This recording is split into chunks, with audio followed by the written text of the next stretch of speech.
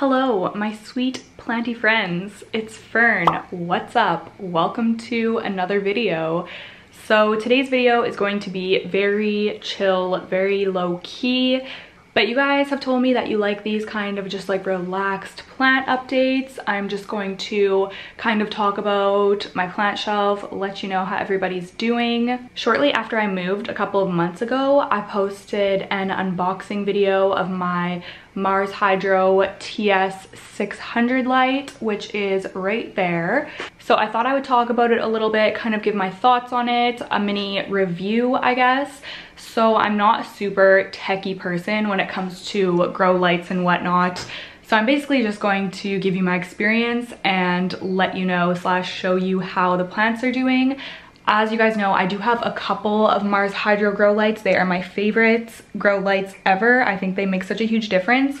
And my plant room is basically powered by these grow lights. I have the window closed right now and it's like the sun is in here. So um, yes, a lot of my plants grow solely just from these lights. Anyways, I have a Mars Hydro SP150, I believe, and then, yes, the TS600. So um, you guys know that I love Mars Hydro and I get a lot of questions about um, the difference between the two lights and do I like this one um, as much as this one and da da da da.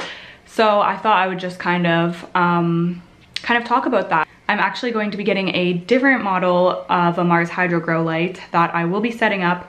So I'm gonna have three different ones soon. Um, but spoiler alert, I love both of these lights. I'm sure I will love the new one as well. But yes, soon I am going to be upgrading this plant shelf, which is what inspired me to film this video and just talk about um, how everything is going with the Mars Hydro TS 600 so many codes and numbers to remember.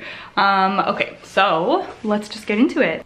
Okay, so I just wanted to answer the question of um, which grow light I prefer between my TS600 and my SP150.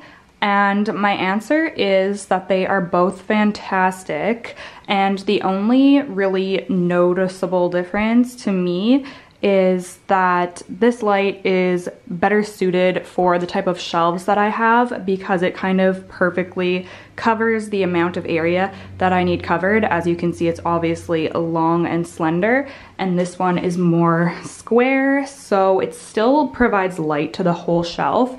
I just kind of prefer that this one is longer, so it's kind of like even bright light along the whole shelf. But when it comes down to quality and how the plants enjoy it, they honestly are both fantastic. Um, I believe that this one is cheaper, so if you're looking for a more budget-friendly option, then this is probably the way to go.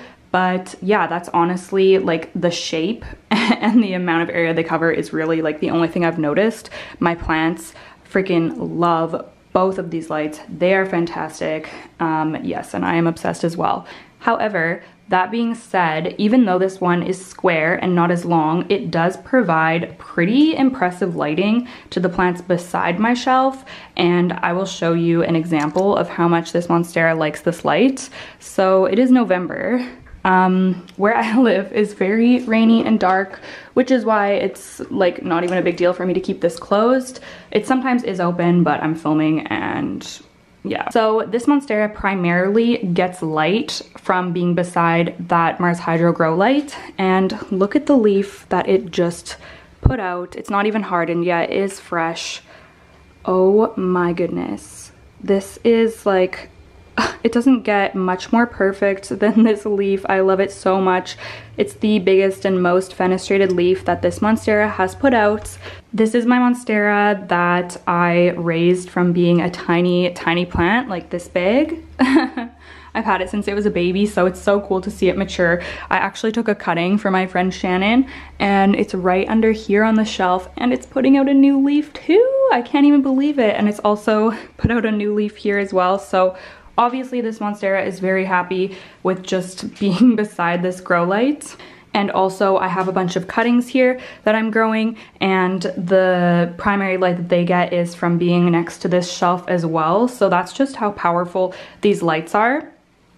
I did have some of you telling me that my plants were too close and I need to dim the light. However, this model you cannot dim. So um, just something to note if you are looking for that feature.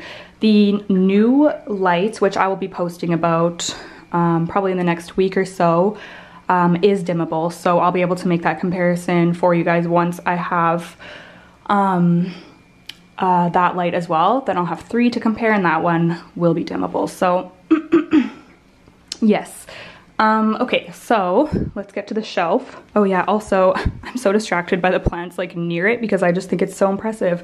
Um, look at how large my variegated Maranta is. Like, she is massive. She's just constantly putting out new leaves and she's literally on the floor just between these two plant shelves and she is so happy, I can't believe it. As well as my Stingray alocasias just putting out a new leaf as well. Anyways, okay, the shelf. Sorry, Okay, so I'm just going to be giving you kind of an overview of what I have going on here and how they've responded um, to this light. I do have an upcoming new full plant tour in the works, so that's why I don't want to go into too much detail, but um, I will just give you a general idea of what's happening on this shelf here. Okay, so I love using these grow lights for my propagations. So I do have a propagation box here. There's actually not too much in here right now, um, but they are pretty much all rooted. I honestly um, can probably take them out of here. But um, yes, I am constantly like switching up which cuttings I have in there and they have done so well in a moss box just on the top shelf below the light here. Same with, I have another one here. I think I've showed you guys this. It's my Hoya fungii. I think, and this is just from a wet stick propagation and it's putting out leaves. So I can't even believe that. Freaking amazing. Um, yes, it is very happy here as well. I have some other things rooting here, some Hoya, um, my Syngonium Black, which has lost all of its leaves, um, but it's actually rooting, so I'm just leaving it there in moss and letting it chill. Some other cuttings that um, need highlight. My philodendron white stripe, which, or what is it, silver stripe? Philodendron silver stripe, um, which I was talking about in my philodendron video. Um, you guys were telling me that it needs a lot of light to keep the variegation and yes, that's definitely true. So that's why it's on the shelf here as well. My Syngonium albo, which has just been honestly a problem child, which I know people say it's so easy and I don't know why it's not for me.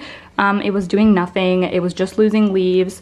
I repotted it and put it under my Mars Hydro and it is giving me new growth as you can see there. So thank goodness because I really don't want to lose this plant. I love it so much. I used to have a large plant of it and this is all I have left. So don't even ask. I don't know what's going on other cuttings that are rooting up here. Um, oh my goodness, this one is dry, dry, dry. Oh, I'm sorry, I will give you a water. I will say that you really have to be on top of watering when you have plants under these grow lights because they're very powerful and they will dry your plants out. So yes, just keep that in mind. Okay, over here I have my silver sword that I'm converting to leca and that is something I really like to do as well is when I'm converting a plant to leca, I like to put it under these lights because it's so bright and helpful for root development because it's so bright and just kind of gives them that extra boost that they need. Um, I know people say that when you're uh, converting plants to leca, you should have them in a bright spot. So this works perfectly for that. Same with rooting up cuttings. Um, as well, I like to put my new Hoya, I'll use this as an example, I like to put my new Hoya under my Mars Hydro lights because um, when I first get Hoya as cuttings, they kind of take a while to establish and take off. And it's really helpful for me to just give them a very bright light until they kind of, um, you know, become established and are able to push out some growth. So this guy I've had under these lights for almost a couple months now, I think, and I can see um, it's finally pushing out some new growth from there, so that's very exciting. I have so many cuttings that have just really taken off, so um, yes, I can just, I just can say so many good things about these lights. Okay, down onto my lower shelf here, um, I like to keep this shelf for plants that don't need, don't need as intense of light or plants that I'm worried about burning, etc. So I, I switch them out all the time. Um, it's not like super full down here right now. but we'll talk about it quickly. So this Raven ZZ I actually used to have on the top shelf and then I started noticing some discoloring and I don't know if it's bleaching um, from the light. I have noticed um, a couple of plants of mine get bleached leaves from being right under the Mars Hydro. So I'm just moving it down and seeing how it does here because it still gets really good light. It's just not as intense. And then other plants like my alocasia and calathea, they don't need to be under that like scorching light. So they are very happy on the second shelf here. I have a marble queen that I put in leca to kind of redeem myself from my leca fails. It gave me my confidence back. And my Hoya pubicalyx is happy here. This plant is always happy. It's so chill.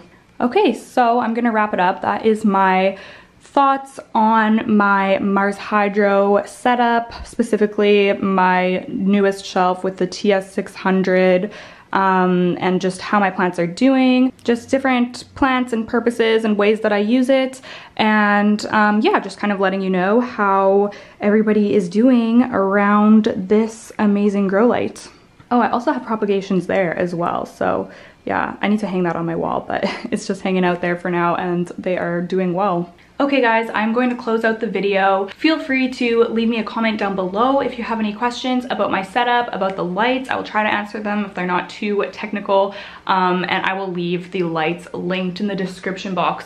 Also, Oh, if you didn't know, if you haven't seen my previous videos, Mars Hydro did send me both of these grow lights. However, all opinions are always my own and you can look at their reviews online. They're fantastic. They are just fantastic grow lights. I would not have to lie to say that. I love them so much. So once again, thank you guys so much. I hope that you're cool with this like relaxed kind of video. I appreciate you guys so, so much. And yes, I would love to chat with you in the comments. Give this video a like if you liked it. And don't forget to subscribe to my channel for more planty content. Okay, I'll see you guys in the next one. Bye.